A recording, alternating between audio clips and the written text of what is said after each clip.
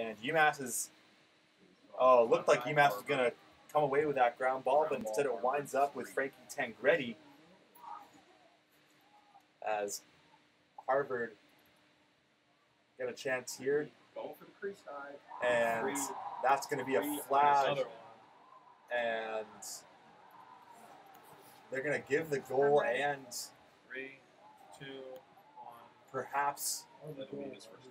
Five, That was just a something else. three, just a kind of a tour